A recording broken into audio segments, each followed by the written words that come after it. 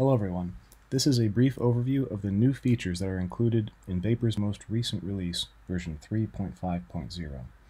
Just to recap what Vapor is, is that Vapor is a 3D visualization and analysis tool used for rendering geophysical data. It's available on OS X, uh, CentOS, Ubuntu, and Windows, and it's also open source so you can download, modify, and contribute to the code base yourself. So that being said, let's jump into the new features. The first thing I'll do is go down and scroll at the bottom and you can see I'm using an OS X uh, installation but if I go down to my taskbar I click on the V um, 3.5 the first thing you'll notice is our new notification board um, on startup, if you choose to uh, enable this notice board, you can see announcements for tutorials, um, surveys uh, that we're trying to elicit requirements from, new releases, and, and that kind of thing. In the notice board we have right now, you can see that we're asking for feedback uh, for Vapor 3.6. So up here we talk about Vapor 3.6 is coming out after 3.5, and we're trying to elicit new requirements from the users. So if there's a requirement that you'd like to see in Vapor uh, 3.6, you can download 3.5 and uh, access the survey through the window, but I'll also put a link down in the description about how to fill out the survey so that we can get your feedback and implement what it is our users are trying to um, accomplish. So there's our new notice board. I'll go ahead and close that. The second feature I'd like to talk about is one of our new data readers. In this release we have two new data readers, but the first one I'm going to talk about is called a BOV data reader. And a BOV file is basically just a, uh, well it's, it's, it's a two component set. You have a description file that contains metadata for how a binary data file is being stored. So if you're generating your data as just a series of floating point or double precision floating point values in one file, just uh, one value uh, and, an, and another value and another value going along your x, y, and z axes, and it's all just raw binary data. Um, this is one of your, the ways that you can get your data into Vapor. But you need more than just a binary data file. You also need a metadata file that describes the structure of how your uh, your binary data file needs to be read into Vapor. And so just to uh, kick this off, I'll go ahead and click on File, Import, and if you're familiar with Vapor, this is how you import your data, File menu, Import, and then you can import uh, WRF, NetCDF, MPAS, and now we have this new Brick of Values reader, so I'll click on that. And I have a demonstration set up um, ahead of time that's already been configured. So I'll go to my BOV files directory, and then I have a demo directory. And you can see that I have a, a, a set of files too. 100.bov which is very small 147 bytes. And then 100.bin which is the actual series of uh, binary data that I'm trying to load into Vapor. So we can go ahead and click on 100.bov which is the metadata descriptor file which is going to reference my 100.bin binary file. And so now we have uh, the data loaded, and I can go ahead and create um, a wireframe renderer, for example.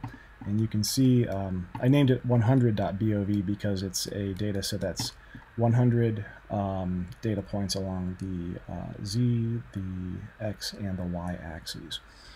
Um, but let's take a little bit of a closer look. So I'm in my demo folder right now where I loaded my data and I can do an ls-l and we have my two files 100.bin which we can see is um, 800 uh, 8 or 8 million bytes 8 megabytes and then 100.bov so if I take a closer look this is again my metadata file that describes the structure of 100.bin so I will do a vi on 100.bov and we can see some of the um, descriptors and I'll po point a link to uh, more thorough documentation on all this in the description of this video but my 100.bov file consists of a time field, um, which is um, kind of arbitrary. I think it's seconds past uh, 2000 or some other uh, crucial date in history.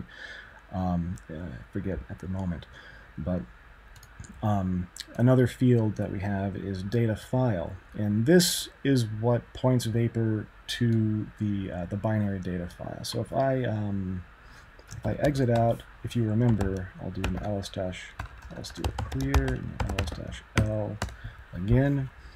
I loaded the 100.bov file, and that 100.bov file is referencing 100.bin. So if I look back at 100.bov, all you have to do is point a relative path to your binary data file, and then load your BOV file.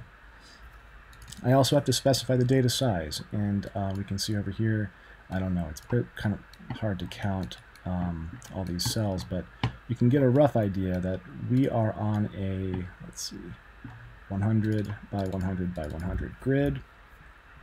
And the data format is of type double. You can also have floating point values or integer values. Uh, we give our variable that's associated with our binary file a name, and we can see over here in Vapor, um, we've named this variable myvar, and uh, that's associated with the value we give it in the BOV file. We also give the uh, brick that we're referencing, so we can kind of see right here we're dealing with the brick. It needs an origin in space, and this is has to be in meters. And so the origin of this brick is 0, 0, 0, and the size is 100 by 100 by 100 meters. And if I go to my geometry tab in Vapor, we can see that on my x, y, and z axes, we're all going from 0 to 100, 0 to 100, 0 to 100. So if you have raw uh, floating point data that's um, not in netcdf format, this is an alternative. We used to, we, we, we still do support a, a, tool to convert raw data to the VDC format, but the BOV reader gives us a way now to directly import it. So now that we've loaded data into Vapor, I think this is a good time to demonstrate a uh, new feature we've added called our bookmarking feature, which helps users apply bookmarks uh, to the application so that they can save certain uh, visualizations and states that they want to reference later. And so um, I guess maybe it'll be more clear if I explain it. If, if, if this happened to be what we're looking at on the screen right now, what we see right now is something that I would want to reference later and, and come back to after making changes.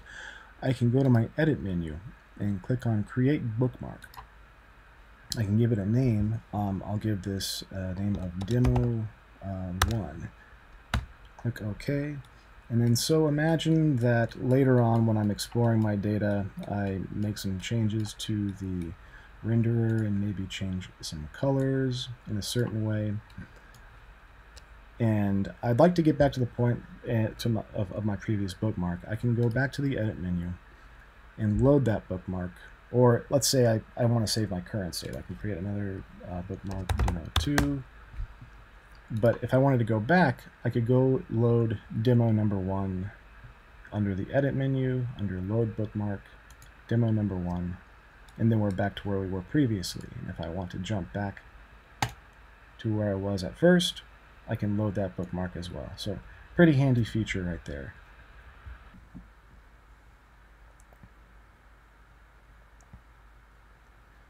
The last feature that I'll talk about is another data reader that allows Vapor to read what is called particle or Lagrangian data.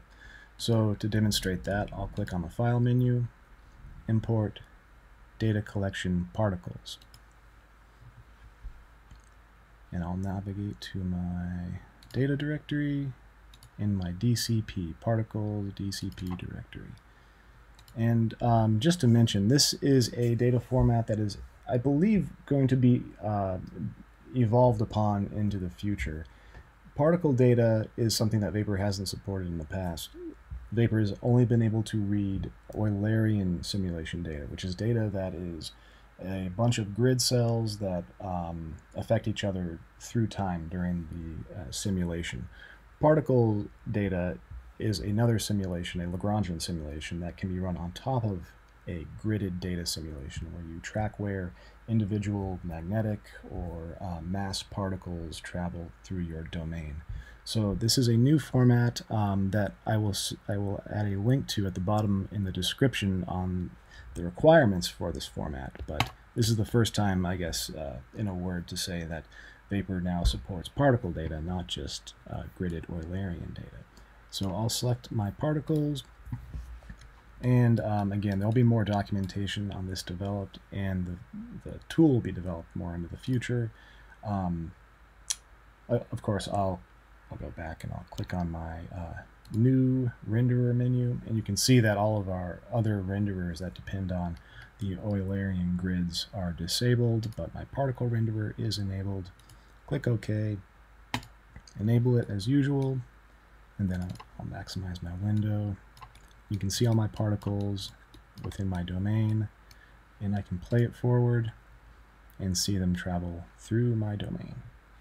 Um, so the last feature, aside from our, our new particle renderer, is um, the implementation of OpenMP within Vapor. It's a performance improvement, so you might not notice it, but that's kind of a good thing. If Vapor is more performant and you don't have to wait as much, um, you know that's the that's the whole goal with that kind of thing. So um, thanks for watching. Again, I'll add a link to our survey at the bottom for Vapor 3.6. We're trying to again figure out what the most important new features are, and so uh, we appreciate any feedback from any users. And um, please let us know in our uh, discussion forum. If you have any questions, you can reach out to us there. And uh, thank you again.